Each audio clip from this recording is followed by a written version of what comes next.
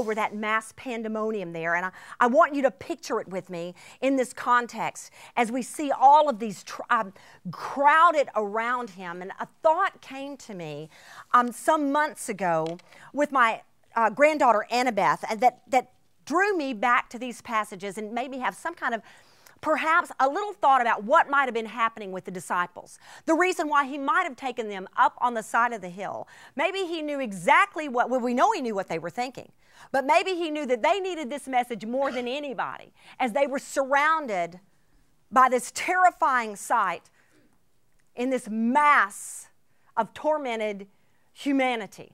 And I'll never forget when Annabeth got old enough to be turned around in her car seat.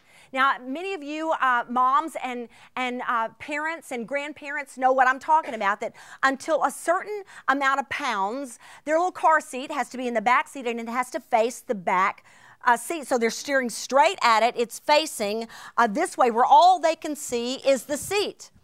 Well, Jackson, her older brother, could not wait for his seat to turn around. It was the most fun thing that ever happened to him. It was just like a whole new world. Annabeth was completely different. They, they thought she's going to be so thrilled. She's going to be able to see mom and dad. She can look at brother good across the seat. She's going to love this. Only when they turned around her seat and put her face forward, I'll, I'll never forget it because it just was the most tragic thing. She cried and screamed with her arms waving like this because it was so much world. She could not handle it.